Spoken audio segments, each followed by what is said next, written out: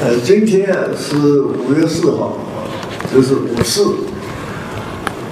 九十多年以前，五四给中国人带来了两个重要的新思想啊，就是民主和科学，啊，就是叫做德先生和赛先生啊。那么九十多九十多年过去了，现在我们追求民主和科学。还没有完全实现啊！我觉得在这个过去的九十年里边，民主谈得多，和，科学谈得少，好像科学不是太重要。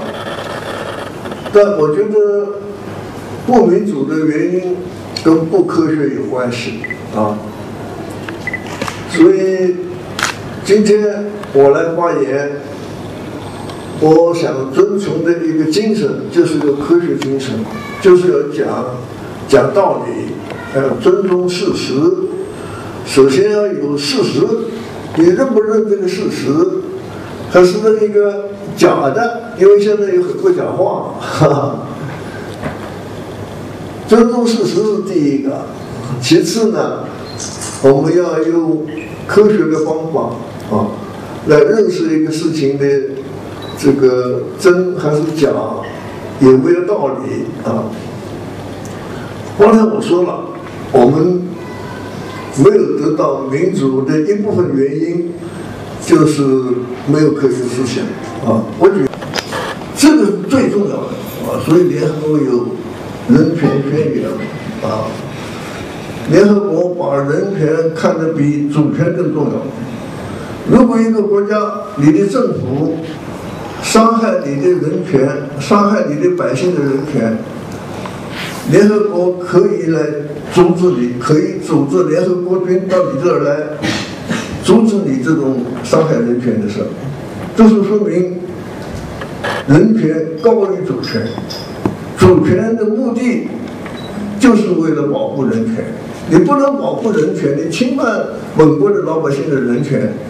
这个政府是要受联合国制裁，啊，大家知道联合国有这个人权理事会，以前叫人权委员会，现在把它提升了，跟安全理事会一样是人权理事会。国家利益应该是服从人民的利益，这样一个国家是一个正常的国家。叫老百姓为国牺牲，这个地方不是个正常的国家啊！当然，除非你的国家受到侵犯啊，外国人打进来了，而且把你变成亡国奴了。这，呃，政治家他有他的理，他的理看我没当过领导人，但我看他们的行为可以说没有例外，谁都一样。中国、外国、日本、美国，还是什么埃及、叙利亚都一样，领导人就是不肯下台，就是。当然，美国的总统你不肯也不行啊，你当了两届，这个第三届是当不了了。我们现在中国的情况有点像美国了，你顶多干十年吧，干了十年你就下来，你干得好也好，干得坏也好，你就下来。这个是个很大的进步。你看，朝鲜，啊，就是不下台，是吧？死了还传给儿子嘛，是吧？毛派要反对我，是吧？我觉得我们可以互相尊重，啊，互相，我听你的意见，你说的对的，我接受。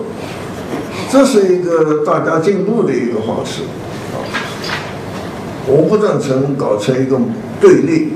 啊，搞成一个冲突，这个对谁都没好处。尤其我反对使用暴力，国家之间我都反对使用暴力，老百姓之间我更反对使用暴力啊！暴力啊，是害人害己啊，对谁都没有好处啊。宽容是好的。意见不一样，我们尊重对方。首先，你得尊重对方。这个有一种愿意，就是你说的对，我愿意接受。啊，甚至于我主动的向你学习，那这个社会就太好了。大家愿意向意见不同的人学习，你只要说的对，我愿意改正，这个是一个好社会。大家都为穷人说话，为穷人说话很好，我很赞成。但是谁也不为富人说话，这个不正常。富人也有他的权利嘛，他的权利要得到认可，而且要受到保护。没人为富人说话，这个不正常，啊。另外一方面呢，为穷人做事的少。为富人做事的多，因为你给富人做事，你能拿到报酬，他给你钱了，是吧？你为穷人做事，他没有钱，你白做了。所以为穷人做事的少啊，为富人做事的多，而为穷人说话的多，为富人说话的少。我觉得这个不正常啊！我要 调整一下，呃，要为富人说话。而且要为穷人做事。我这个话刚说出来，啊，遭到一大堆的这个批评，啊，甚至于骂骂我啊。我就更觉得有为夫人说话的必要啊。我还没说呢，你不知道我说什么，你就骂我了。那是不是夫人就不该说话？这是什么理由呀？我就想起了我们解放以后几十年，一直到改革开放，甚至一直到现在，我们始终宣传了一种理论，就是富人是有罪的，富人是剥削者，不但他们有罪，他们的小孩也不让他们上大学。因此，改革以前那个几十年，把原来的富人都打倒了，啊，地主资本家都打倒了，新产生的富人，新产生不了富人，也没有没有富人。你刚想你，你不要说致富，老太太养个鸡下个蛋，把鸡蛋卖钱，那个就是资本主义。你说怎么会有富人呢？过去的富人、地主、资本家的小孩不让他上大学，甚至连结婚都很困难。地富反坏右的下一代啊，四十岁结不了婚，找不到对象，谁也不跟他们在一起。这些人不能不能上大学，不能参军，不能入党，啊，不能提干。这个人在这个那个体制下一辈子是完了，没前途的。啊，现在情况不一样啊，不参军就不参军，不干不提干不入党没关系，我我发我的财。现在比那个时候大不一样，但是在那个情况下，把你的生路全给断了，谁敢当富人啊？那个时候搞运动，说运动？阶级斗争。谁跟谁斗？无产阶级斗资产阶级。为什么要斗啊？资产阶级是剥削者，你剥削了我，我为什么穷？你剥削了我，所以我穷的仇恨集中在你身上，于是就导起阶级斗争来了，或者说仇富的教育维持了阶级斗争的这个理论。剥削的理论产生的这个阶级斗争，啊，这个事儿如果说是不改变的话，中国永远是穷人国，谁也当不了富人。幸亏邓小平说了一句话，啊，让一部分人先富起来，啊，哎，有少数的人先富起来了，现在富的人越来越多了。其实我为穷人做了很多事啊，我要多讲一点。我我为了为穷人做事，我拿出了一百多万块钱，我办了一个保姆学校，十年了，两万三千人从那个学校毕业找到工作，都是贫困地区的妇女。我还办了个小额贷款，把钱借给穷人，让他们能够搞生产，啊。当然这些事不是我一个人做的，很多人跟我一起做的，包括很多企业家，什么任志强啊、潘石屹啊、柳传志，他们都给我出钱了。我一个人那个一百多万不够的，但他们的力量很强。他们为什么肯给我出钱呢？他知道我这人可靠，不会把他的钱瞎花了。我自己都出钱来做我，是吧？所以我一开口，他钱就来了。我就有几千万的钱做这些事我自己才一百多万，我没多少钱，当然我现在比过去好多了，我能拿出一百多万来了啊！我还拿出好多的钱做别的事我觉得一个人呢，要学会。把钱用的有意义，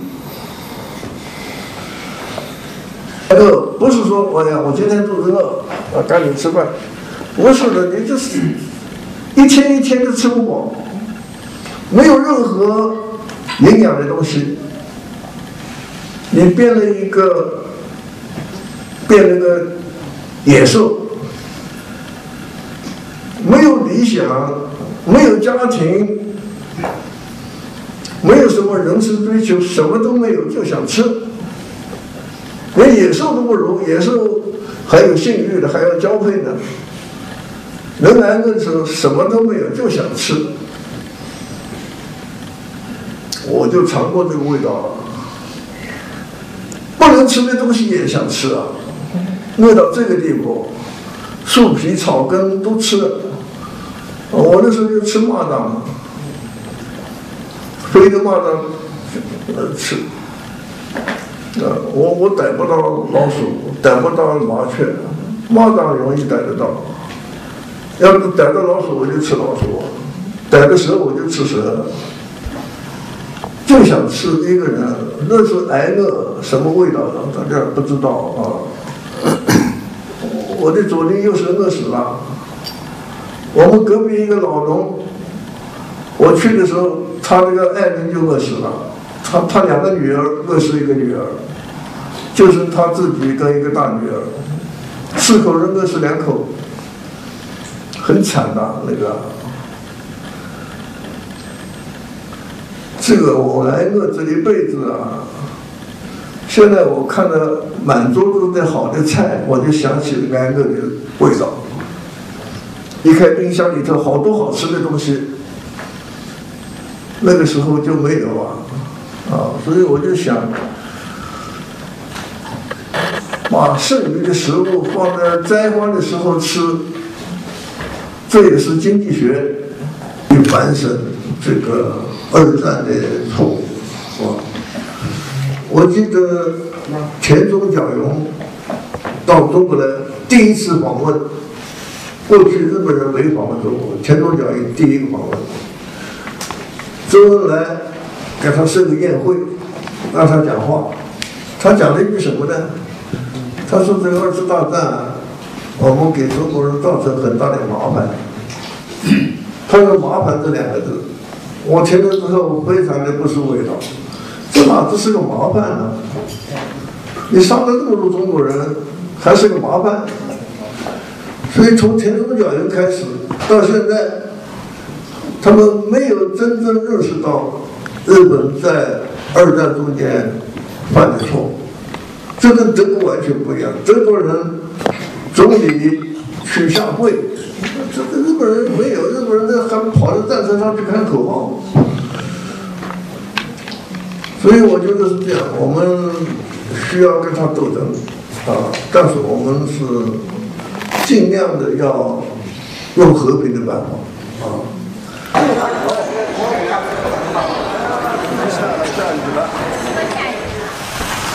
好。